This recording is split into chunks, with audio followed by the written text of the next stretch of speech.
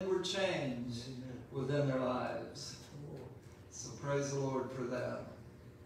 All right. Well, it was Joe and Sally. They had a perpetual problem. They didn't even realize what that problem was there for a period of time. And uh, but you see, they were uh, they were uh, Joe had just turned 30, and Sally was 28, and they just had their third child, and uh, so their oldest child was four years old at this time. So they had been married for quite a while. They did not have much acquaintance with church. Both of them, when they were young, very young, had been invited to church a few times. But, you know, their families didn't know much about church either. And, uh, but when you have these life changes come about, these transitions in life, like getting married is one, and then whenever you have children, that's another change that comes about. And then, uh, then later on, you have what's called the empty nest. We've had that three or four times. I kept coming back, and that's great. They were invited. and uh, so thank the Lord for that. In fact, I'm glad one time we were able to do it because uh, uh, one of them had a fire in their home. They needed a few weeks to uh, stay somewhere. But anyway, I digress. but Joe and Sally, had these things going on in their lives, and they had a friend who had invited them to church right after their first child was born. So they thought, well, it'd be good for us to go to church. We probably ought to do that. And so they came a time or two. And then the next year, they came on Christmas and they came on Easter. And a lot of people, that's the only times that they go to church. And somebody asked him about that one time. He said, well, uh, I won't come to your church because you only got two sermons. I said, well, when do you come? He said, Christmas and Easter. sermon about the birth of Christ and one about the resurrection. Okay, you get it. Uh, and there was a family, you know, that came to church one time, and uh, the little boy kept watching his dad during the service. And uh, so they had the singing and all of that, and then the people walked around and they had the offering plates, and they passed them down and came by his dad, and he watched his dad put something on the offering plate. And after that, he thought it was real interesting what church was like. He was excited about it. Incidentally, we don't have the offering plates here, but we do have a box back there in the back. And uh, but anyway, on their way home, the dad he started getting a little bit critical of the church service. So he didn't really like some of the songs that they picked out, and he didn't like how they sang some of the songs. And then uh, he talked about the temperature that was in the church. Let's not get into that because nobody agrees on that, right? And but he didn't like that. And uh, then the preacher got up and something the preacher said. He commented on that, kind of a, a, put down comment. And the little boy was just waiting to make his comment. He said, "But Dad, I thought it was a really good show for only a quarter." he saw what his dad put in. Well, thinking about offerings here. Now, when we get to the scripture, it's going to talk about offerings, and it's going to talk about sacrifices and offerings. But getting back to Joe and Sally, they came to church. They came a couple times during the year. And then after that, they kind of increased a little bit. And after the second child was born, I guess you could say probably on average, maybe about once a month, um, they made it to church. And then this third child was born. They said, we're going to start going to church every week. But their perpetual problem was that they felt guilty. And the reason why they felt guilty is because there is a real guilt. For human beings, we are all guilty of sin. And uh, there comes a point in our lives that we become sinners by choice. We, we just disobey God. We disobey the scriptures and we disobey the laws of God. And that is deep down within us. And sometimes it surfaces. And coming to church, lots of times that will surface because we read the scriptures. And the scriptures are like a mirror. And you hold it up, and you look in the mirror, and you have to say, there's a guilty person before God. Well, they didn't, they couldn't articulate that, but there was just that little bit there. But they were drawn to come to church, and they wanted to do better, and they wanted to have a better life, and but they had this sense of guilt. That was their perpetual problem. So then they finally decided, okay, like a lot of people do, we'll work it out like this, like like the teeter-totter, you know. Got the fulcrum in the middle, and you put a weight on one side, and then you put it on the other side, and it comes up and balances it up. So they began to understand that their problem was their guilt, so they were going to start doing good deeds to balance it out.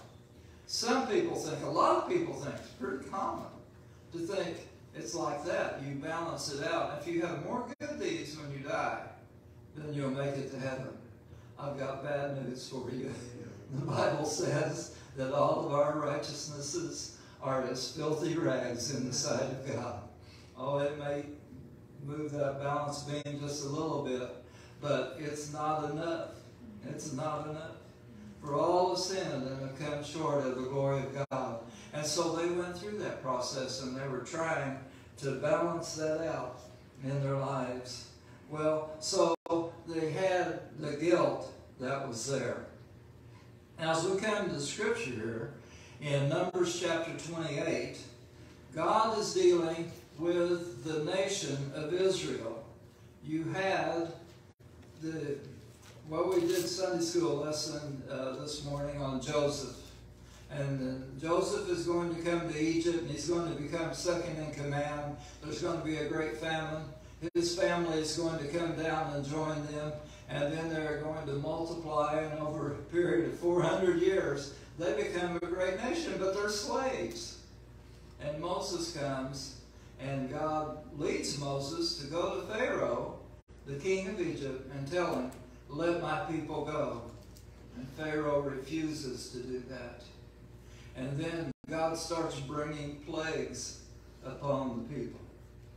And finally, it gets down to the 10th plague. And at every point, sometimes Pharaoh would act like he's going to let him go, but he always came back and said no, he would not. Finally, it came down to the 10th plague, and that was going to be the death of the firstborn. How many people in here are the firstborn child in your family? Yeah. Well, you can see that that would be cause for concern because all, all the other plagues had happened. And so this one was going to be the death of the firstborn that was coming in there. Well, anyway, you had that, and we'll get back to that in just a minute. And so they they got delivered, and they made it through the Red Sea. If you've watched the Ten Commandments, you know about that. You've been in Sunday school, you know about that. They walked across the Red Sea on dry ground. And they had the opportunity to go into the promised land. And they sent 10 spies in to just see what it was like. And the 10 spies came back, and or 12 spies, and 10 of them gave a bad report. 10 were bad, and 2 were good. I got it. 10 were bad, and 2 were good. Joshua and Caleb gave a good report. They said, Let's go in said, There's giants there, but God is with us. We can take the land. The other ten said, No, no, we can't do it. We can't make it. They were fearful. And the crowd was swayed by the ten. And God told them, You're going to wander in the wilderness for 40 years. And they did. So the book of Numbers is the story of the wilderness wanderings. So you had it started out, the first couple of chapters was just like a couple of years period of time. And then you've had 38 years pass since then. And now we're down in the last five months. And Moses knows that it's finally ending and they're going to get to go into the promised land. But he finds out that he's not going to be able to go himself. And he starts putting things in order. And he prays to God for a successor in his position of being the leader of the people. And God told him it would be Joshua. So he's got that taken care of. Check mark. Taken care of. You're getting close. And then God says, This is a brand new generation. The older generation has all passed away. And so he repeats the law. He's giving him all the instruction that he can, again, about the things of God. And then we come here into Numbers chapter 28. He's going to give them instructions about sacrifices and offerings. The offerings, they were offering sacrifices. And uh, so we have that here the frequency of the offerings. Now, sacrifices are there just about every culture in the world. They understand something about sacrifice. That sacrifices, if they have a false God, they, they, they will think that some kind of sacrifice will appease that God in some way. Now, we had the true God, but He still is having them offer sacrifices. And uh, we will see why that is in just a moment. But let's look at the frequency of the offerings here. In verse 1, And the Lord spoke to Moses, saying, Command the children of Israel, and say to them, My offering and my bread for my sacrifices made by fire, for a sweet savor to me, you shall observe to offer to me in their due seasons.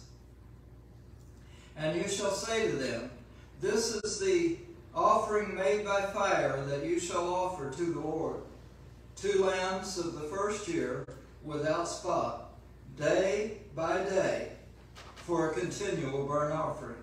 You shall offer the one lamb in the morning, and you shall offer the other lamb at evening, and a tenth part of an ephah of flour for a grain offering mingled with a fourth part of a hin, a measurement of beaten oil, it is a continual burnt offering that was uh, ordained on Mount Sinai for a sweet savor, a sacrifice made by fire to the Lord. And the drink offering shall be the fourth part of the hin and of the uh, for the one lamb in the holy place. You shall cause the wine to be poured to the Lord for a drink offering, and you shall offer the other lamb at evening you shall offer it as the grain offering uh, at the morning and as a drink offering, a sacrifice made by, made by fire of a sweet savor to the Lord. What you had was the daily offering.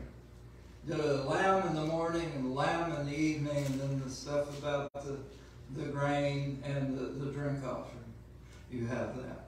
Okay, and then next verse.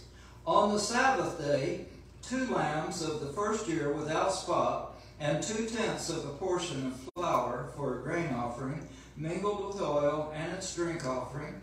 This is the burnt offering of every Sabbath, besides the continual burnt offering and its drink offering.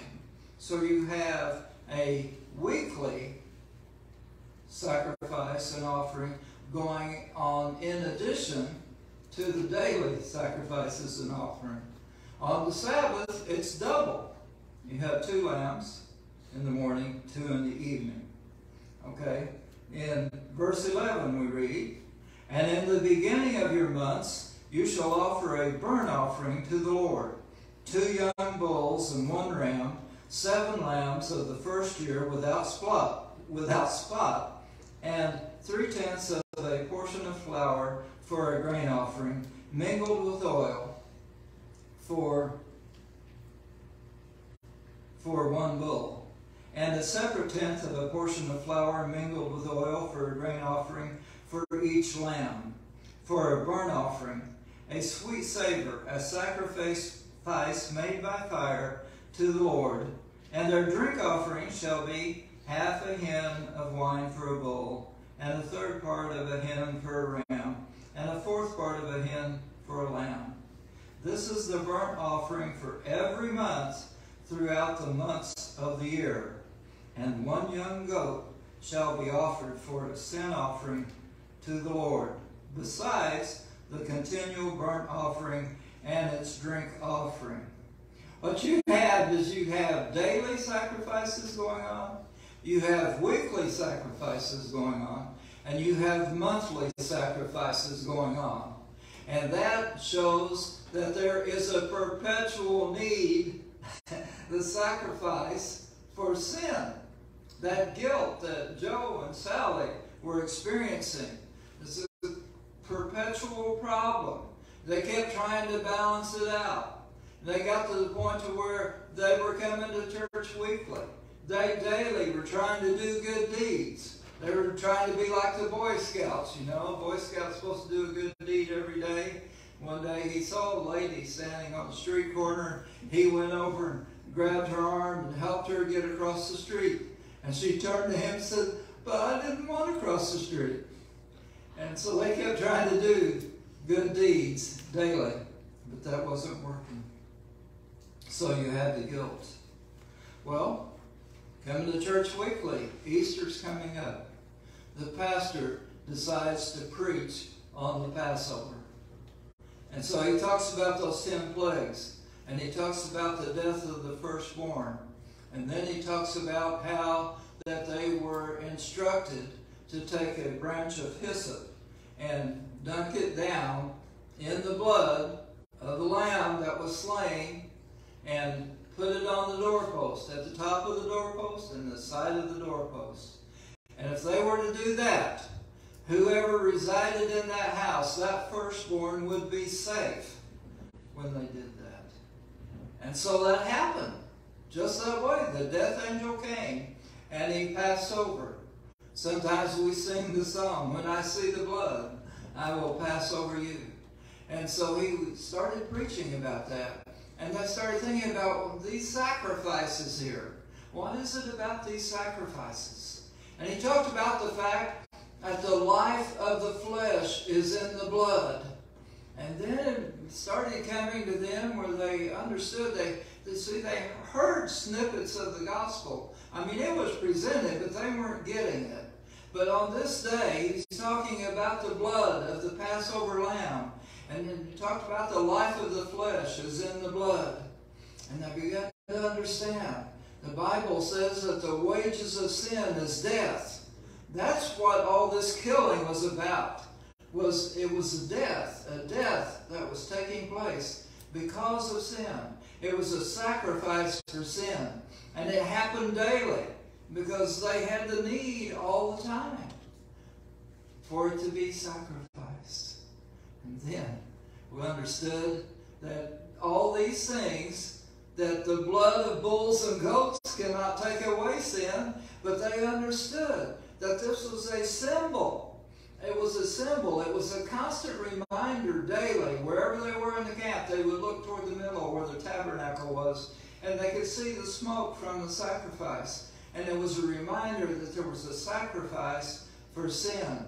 And you see, they were all saved on credit because they were looking at the symbol. They believed God, they obeyed God, they brought the lambs for the sacrifices, and, and that was what brought their salvation.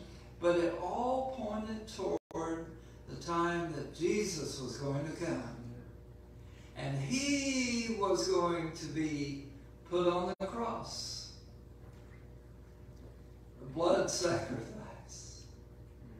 And he is the eternal Son of God. And so that's why his death was def- different from any other death. His death was that infinite death that could pay for the sins of mankind. Woo! Joe and Sally sat there in the congregation that day and they thought, wow, been trying to do all these good deeds and it. We'll still try to do them, but we're not doing very well at it. But we have sinned.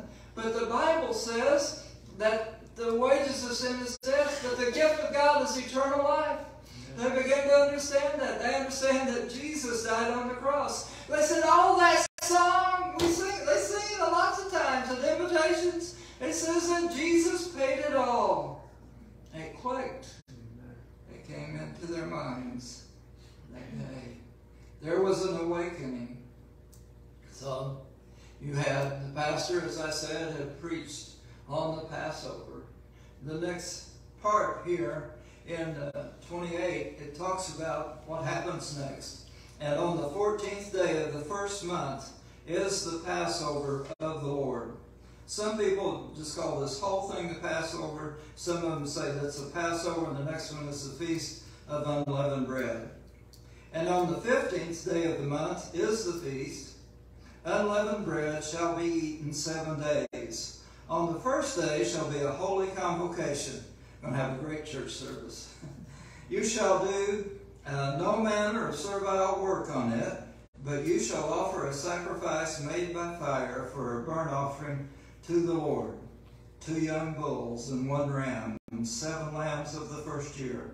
They shall be for you without blemish, and their grain offering shall be of flour mingled with oil. You shall offer three tenths of a portion for a bull, and two tenths of a portion for a ram. You shall offer a separate tenth of a portion for each of the seven lambs, and one goat for a sin offering to make an atonement for you.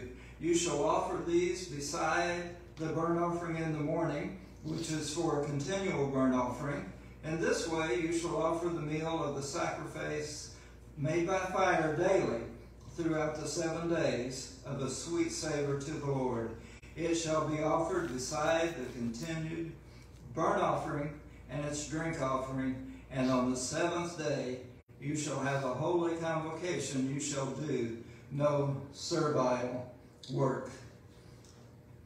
Joe and Sally, they were kind of getting it. And then they heard about Martin Luther. Martin Luther was a man who wanted to please God. In fact, he became a monk. And he heard about a certain thing that he could do. He could go to this certain place. It was some marble steps. It was reported to be steps that Jesus walked up uh, whenever he appeared before Pilate. And later on in history, it was moved to Rome, from what I understand. But anyway, Martin Luther went to this, and the idea was that you were to climb it on your knees. And he started climbing it on his knees, and his knees started getting bloody as he was going up it. And you were to say the Lord's Prayer at each step of the way. And the idea was that if you did this and you made it to the top, you could pray someone out of purgatory. And his idea was that he wanted to pray his grandfather out of purgatory. Now, I need to stop here for a minute. I, I, you know, that's not me, and I don't believe that's the way it is. But even Martin Luther, when he got to the top, he said, What if it doesn't work? And later he talked to his son, and he said, You know, about three fourths of the way up those steps, it came to my mind the words from Habakkuk that said, The just shall live by faith. And so Joe and Sally are hearing this story too. And they're thinking they're, the just shall live by faith. You have salvation. It's the gift of God. How do you get it? You get it by faith. And by faith you become righteous. And so we have the righteousness of God, the righteousness of Christ that clothes us. It was a day, it was an awakening, it was a day of victory for them. Now, we'll just go ahead and get this other paragraph here. It said also, on the day of the first fruits, we also call this one Pentecost. It said, while you bring a new grain offering to the Lord after your weeks are out, seven weeks, going to be 49 days, 50th day, 5 times 10, Penta, Pentecost. So it came there. You shall have a holy convocation. You shall do no servile work, but you shall offer the burnt offering for a sweet savor to the Lord. Two young bulls, one ram, seven lambs for the first year.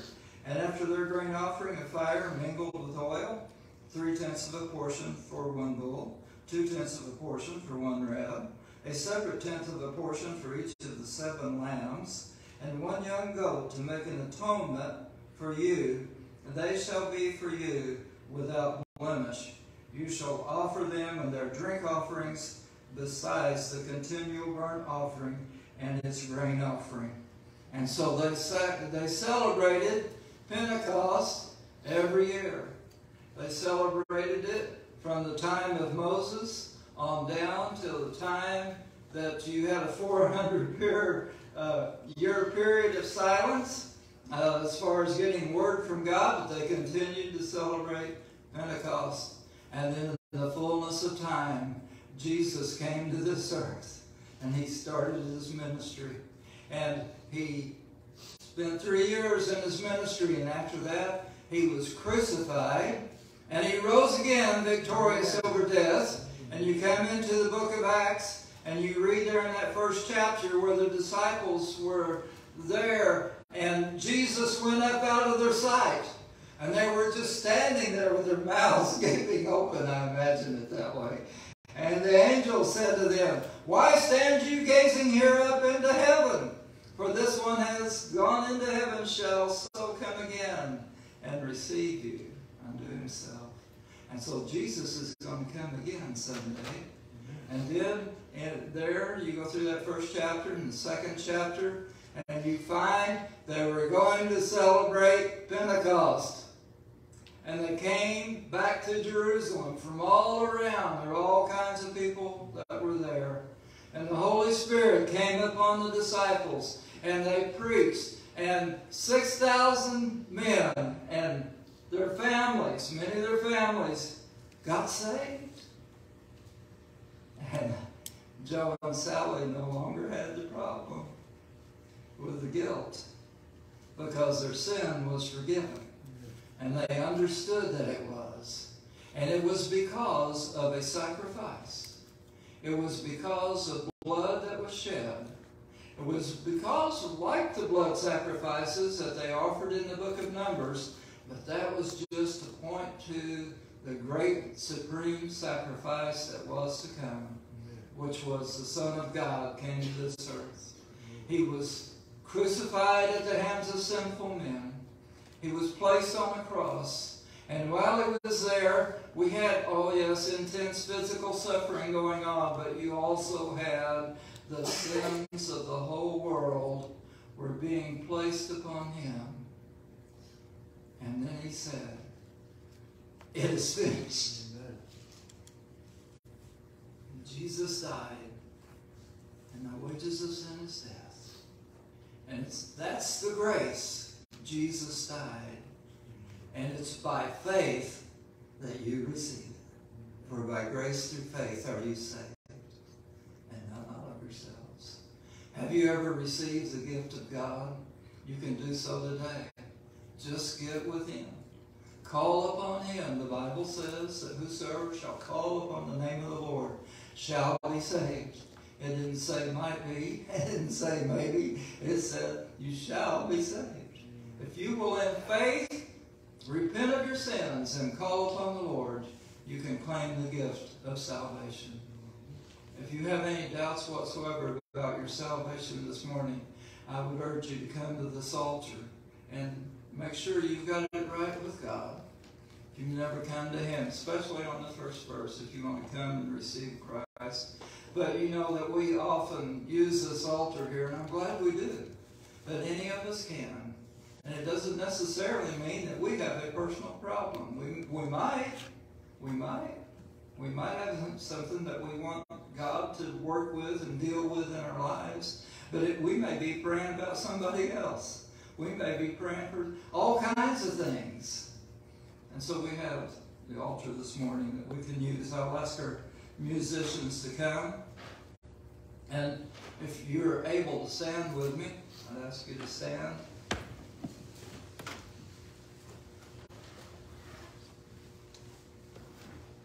I'm going to lead us in prayer, and after that, we'll have a song of invitation. And we invite you.